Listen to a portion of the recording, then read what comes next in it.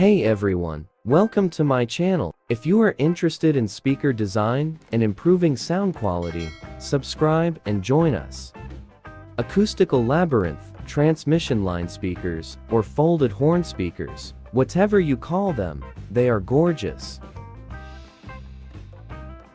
The first idea belonged to a company named Stromberg Carlson in the 30s, which was the inventor of these telephones. This type of speaker was termed an acoustical labyrinth by them. A folded horn speaker creates a time delay and makes the back radiation in phase with the front of the cone. The cone displacement will be reduced, which will cause a lower sound distortion.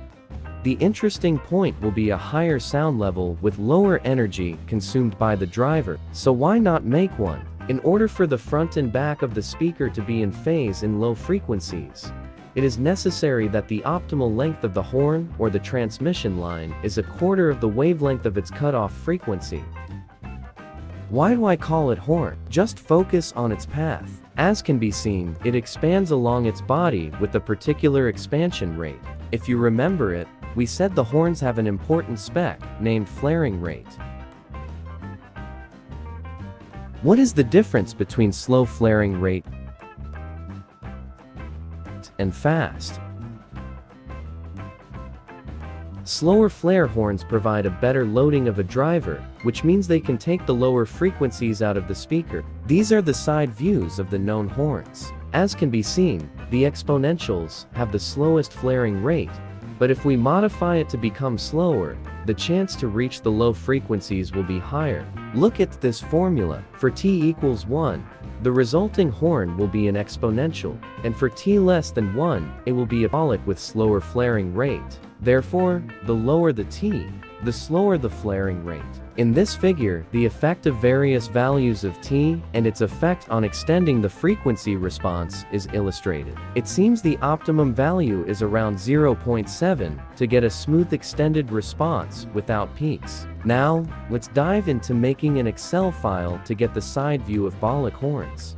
First, you need to type these words on the first row, respectively. Then select all of them and define a 500 row table just by a few clicks.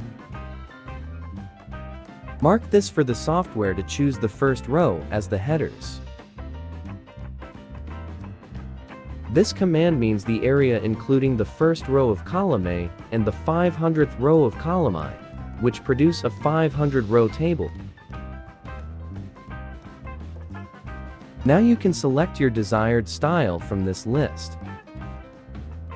Move the mouse pointer to this area and click to select all the cells. Then select middle align to set the texts at the center of all the cells. After that, hold the control button and double click to adjust the cell size for all the texts. We need a list including the numbers between 1 and 500. Just enter 1 and drag it. When the mouse pointer is changed to a plus shape, drag it to reach 500. Then select fill series to create a series of numbers between 1 and 500.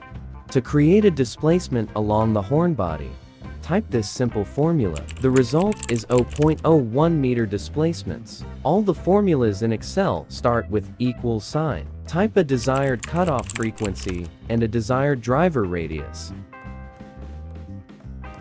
As we said, the optimum length of the transmission line is one-fourth of the wavelength at the cutoff frequency.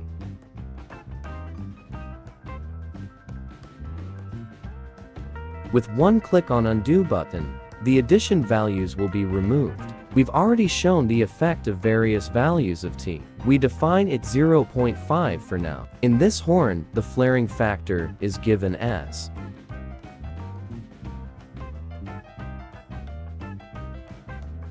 and the growth of the cross-section area is defined by this relationship. St is the throat area, m is the flaring factor, x is the distance from the throat, and t is the parameter that determines the shape of the horn, or is the second flaring factor.